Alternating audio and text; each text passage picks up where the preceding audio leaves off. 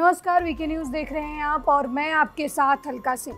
Asia cup के super four मुकाबले में भारतीय गेंदबाज अर्शदीप से एक कैच क्या छूटा, बवाल मच गया।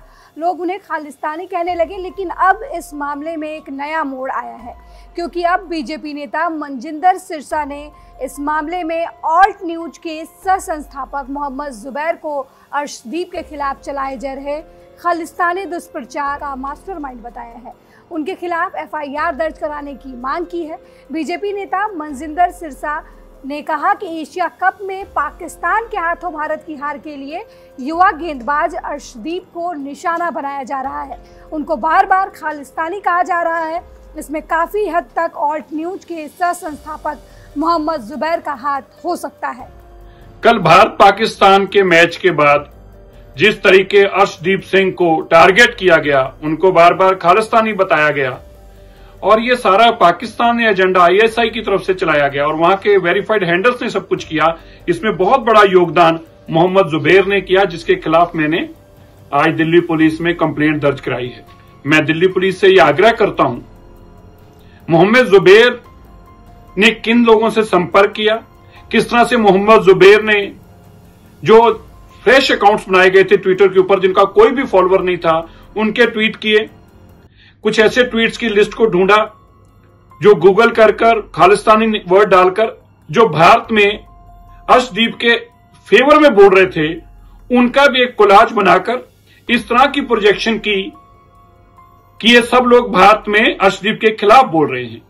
और उस प्रोजेक्शन को पाकिस्तान में चलाया गया, जिसके चलते ये पाकिस्तान में एजेंडा बना कि भारत के अंदर उसका विरोध हो रहा है। और इस एजेंडा वही बीजेपी नेता सिरसा यही नहीं रुके। उन्होंने जुबैर पर आरोप लगाते हुए कहा कि जुबैर ने कुछ ऐसे ट्वीट का कोलाज बनाया और उसे ट्वीट किया जिससे ऐसा दिखाने की कोशिश की गई कि ये सब लोग भारत के और अर्शदीप के खिलाफ बोल रहे हैं। उनका एक कोलाज बनाकर इस तरह की प्रोजेक्शन दी गई कि ये भारत में अर्शदीप के खिलाफ बोल रहे हैं। ये पाकिस्तान में एजेंडा बना कि भारत के अंदर उसका विरोध हो रहा है। और इस एजेंडे के चलते बहुत बड़ी ट्रोल कंपनी एक शुरू हो गई। इस सब के अंदर जुबेर का बहुत बड़ा योगदान है।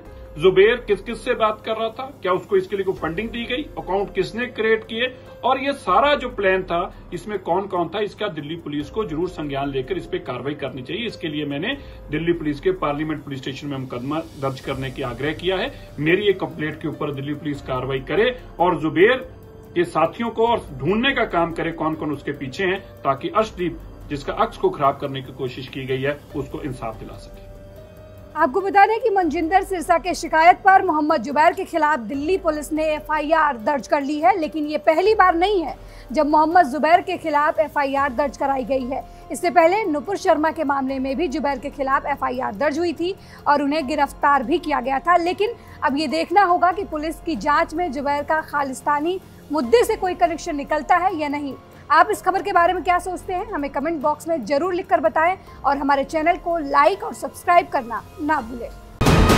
वीके न्यूज़ राष्ट्र के नाम।